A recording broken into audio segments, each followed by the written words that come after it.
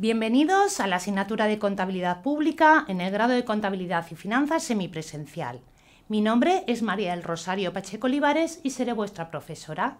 Mi papel será ayudaros y acompañaros en vuestro proceso de aprendizaje de esta materia. En esta presentación me limitaré a remarcar los aspectos más relevantes para el correcto desarrollo de la materia.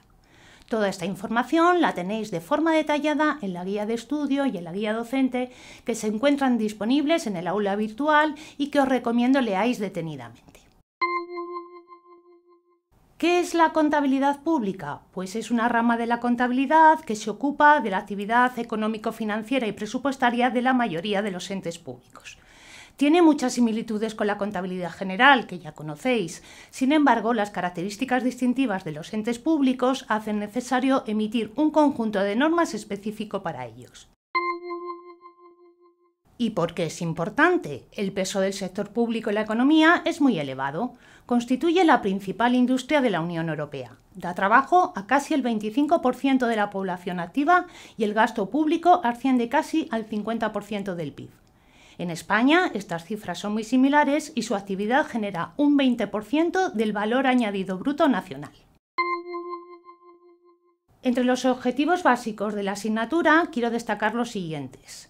Aprender a manejar el Plan General de Contabilidad Pública, introducirnos en los presupuestos públicos y saber registrar y valorar operaciones básicas en la contabilidad financiera y presupuestaria de un ente público y a formular sus cuentas anuales.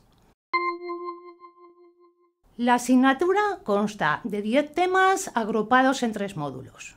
En el primer módulo, normativa contable y presupuestaria, delimitaremos el ámbito de la contabilidad pública, daremos a conocer el Plan General de Contabilidad Pública y la organización de los presupuestos públicos. El segundo módulo, el ciclo contable y presupuestario de los entes públicos, constituye el eje fundamental del curso. En él pondremos en práctica la llevanza de la contabilidad de los entes públicos. En el tercer módulo, elementos patrimoniales y cuentas anuales, trabajaremos con algunas normas de registro y valoración y aprenderemos a formular las cuentas anuales. En todo momento estaré disponible para vosotros. Para ello disponemos de las siguientes vías de comunicación en el aula virtual. Dispondréis de un foro general de la asignatura y de un foro particular para cada tema. Ahí podréis plantear las dudas que puedan tener un interés general para todos. Contáis además con un correo para plantear problemas más particulares. Realizaremos también videoconferencias. Una videoconferencia inicial con el objeto de conocernos e introducirnos en la asignatura y otras posteriores para cada uno de los módulos. Habrá también videopíldoras que incidirán en los aspectos más importantes de cada uno de los temas. Asimismo, dispondremos de tutorías online a través del chat o de videoconferencia.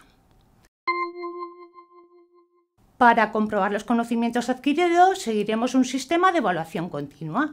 La evaluación se llevará a cabo mediante tres pruebas online, una por cada módulo y una prueba práctica presencial al final del curso.